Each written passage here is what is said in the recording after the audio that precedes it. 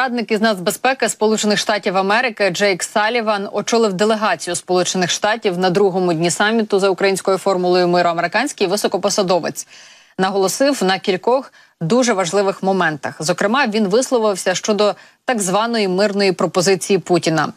Відзначив, що подібні заяви є неприйнятними, ба більше вони протирічать здоровому глузду. А ще Джейк Саліван досить чітко підтримує позицію української формули миру. Це безвідповідально, це відкидає статут ООН, основну мораль і просто здоровий глузд. Натомість візія миру, яка була представлена тут багатьма країнами, яка спирається на ті принципи, під якими ми всіма підписалися, що спирається на принципи. На принцип того, що ми б всі хотіли жити в такому світі. Це є правильна візія рухатися вперед. І тому з нашої перспективи це цей захід є важливим рубіконом на шляху до справедливого миру. І Сполучені Штати Америки гордо йтимуть з Україною по цьому шляху до того моменту, як Україна переможе, і мир переможе. Дякую. Китай не приїхав на саміт за українською формулою миру, тому що про це попросив Путін. Е, таку думку висловив е, Джейк Саліван, якого ми почули щойно. Він заявив, що такі рішення говорять і про досить чітку позицію самого Китаю. Очевидно, що Китаю тут немає, і я припускаю, що їх тут немає, тому що Путін попросив їх не приїжджати, а вони зобов'язали Путіна. І я думаю, що це говорить про позицію Китаю щодо війни Росії в Україні. Я думаю, що країни повинні звернути на це увагу. Ну і що хотілося б сказати з приводу Китаю, те про що власне на саміті миру на фінальній прес-конференції зазначив Володимир Зеленський. Він сказав, що Китай має як економічний, так і політичний важіль впливу на Росію, і надзвичайно важливо було, звісно, аби е, КНР долучилися до саміту. І е, Китай власне зміг би допомогти Україні. Зокрема, я зацитую, що сказав Володимир Зеленський. Ми поважаємо Китай, завжди поважали територіальну цілісність і суверенітет вашої держави.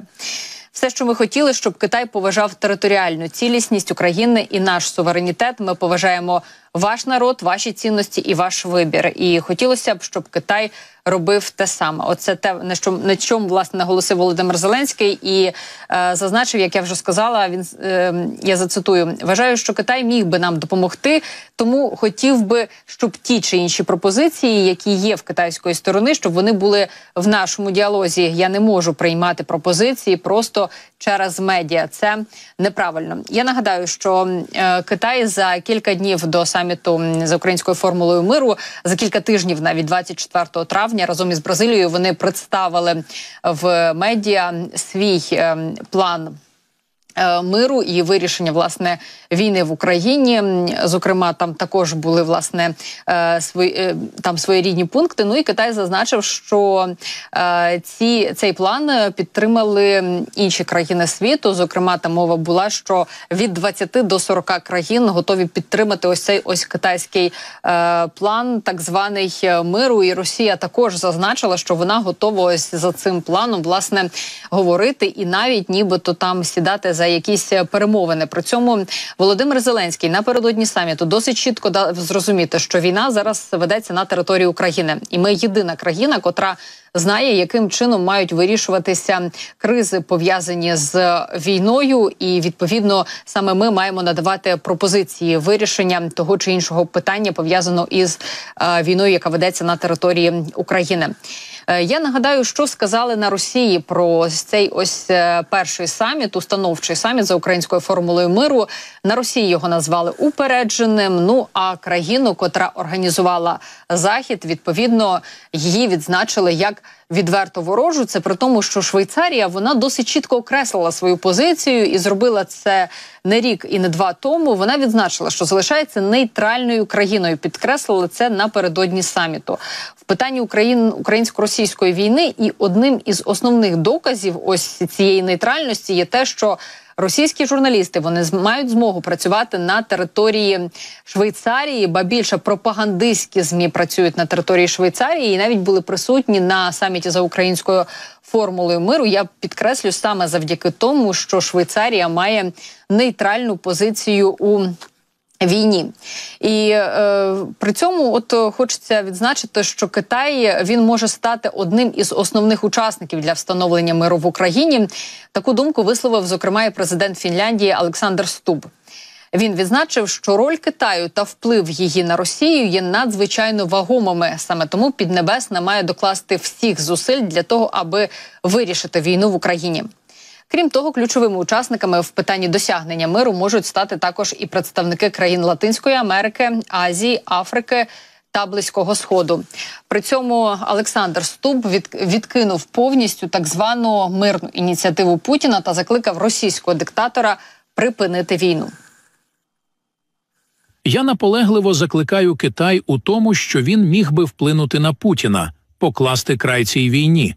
Багато представників із країн Латинської Америки, Африки, Азії та особливо Близького Сходу. Це дає надію, що ми зможемо вийти на шлях миру, і я вважаю важливим, щоб це сталося на умовах України. Ну і от е, те, про що власне говорили про позицію Росії, про те, що як я вже зазначила раніше, Джейк Саліван зазначив, що ця позиція вона є неприпустимою, вона є досить ультимативною і. Е, Що сказав Володимир Зеленський з приводу ось цих умов, так званих, які висунув Путін для припинення війни? Володимир Зеленський прокоментував знову ж таки на конференції у е, Швейцарії е, заяви Путіна. Я нагадаю, що напередодні він зробив також ем, деякі коментарі, дав свої. е, В Італії одразу після саміту країн Великої Сімки. А зараз ось що сказав президент. Майже всі говорили, що просто одним цим меседжем Путін передав всьому світу, що все, що він до цього говорив про реальне бажання закінчити війну, помножене на нуль. І також е, Володимир Зеленський підкреслив, що ось ці заяви Путіна вони є величезною помилкою.